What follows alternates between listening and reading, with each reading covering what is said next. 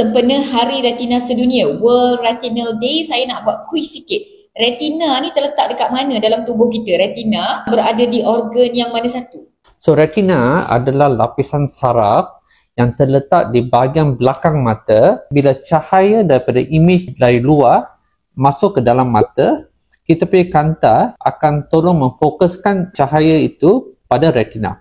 Retina ialah lapisan saraf yang paling peka kepada cahaya.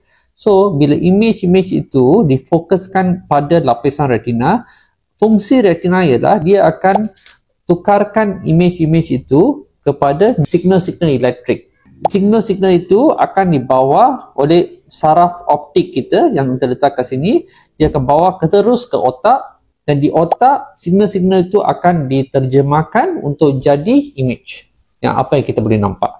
Apa tips Dr. Raj kepada viewers dan juga netizens di luar sana untuk menjaga kesihatan mata mereka? Nombor satu, kita kena jaga makanan kita. So kita kena makan makanan berkhasiat dan di sini kita kena makan banyak sayur-sayuran yang berwarna-warni, sayur-sayuran yang berdaun, buah-buahan, ikan sebab kita nak omega 3 kita juga kena mengelakkan daripada tabiat-tabiat macam merokok. Nama saya adalah Dr. Parni Rajnaika. Saya adalah pakar ophthalmologist kini bertugas di Columbia Asia Hospital Ceras.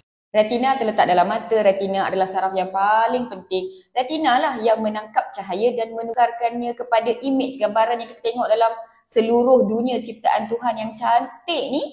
Kita dapat lihat kerana retina kita berfungsi dengan baik. Retina jugalah penyebab utama buta di seluruh dunia dianggarkan lebih 100 juta orang buta di seluruh dunia akibat kecederaan ataupun penyakit retina. Jadi, sempena World Retinal Day 2024 Columbia Asia Hospital Ceras bersama-sama dengan Dr. Mala nak ingatkan you all semua, kita semua perlu buat saringan kesihatan mata seawal usia 18 tahun. Yang berusia 18 hingga 60 tahun boleh buat saringan kesihatan mata 1 hingga 2 tahun sekali. Yang berusia 65 tahun ke atas bolehlah buat saringan setiap tahun. Individu yang berisiko macam ada kerja manis ataupun pernah ada masalah mata macam glaukoma, sebaik-baiknya buatlah saringan kesihatan mata setiap tahun agar kalau ada apa-apa kecederaan ataupun masalah dikesan dengan awal dan dirawat dengan awal. Untuk kanak-kanak pula ketika lahir dah kena check dah ada juling ke mata merah ke kecederaan ke yang tu dah kena check sejak lahir. Dan kemudiannya sambunglah saringan mengikut saranan daripada doktor.